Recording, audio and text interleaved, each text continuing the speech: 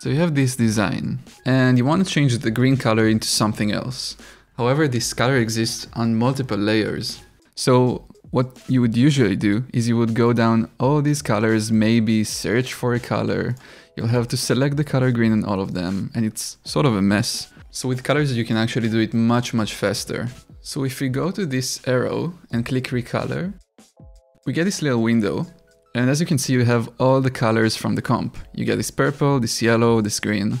And also, you get the same palette that you have in the main window. So one thing you can do is you can click the color you want to change, pick something else, and colors will automatically change all the instances of the same color in the comp. I'm gonna restore the original colors for a moment.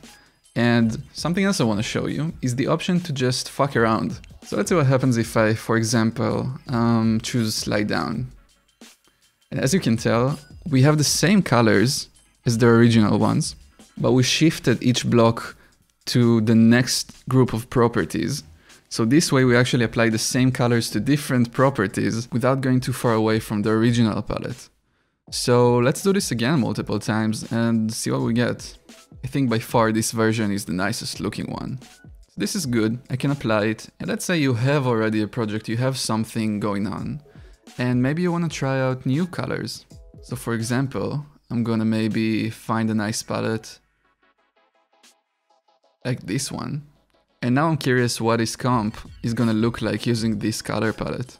So I'm gonna choose recolor again, and I'm simply gonna click this arrow which will select the colors from the palette and apply them to the color properties.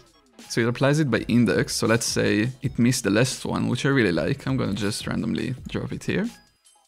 And as you can see, this looks pretty neat. So now for the same sake of fucking around, you can just keep sliding up or sliding down.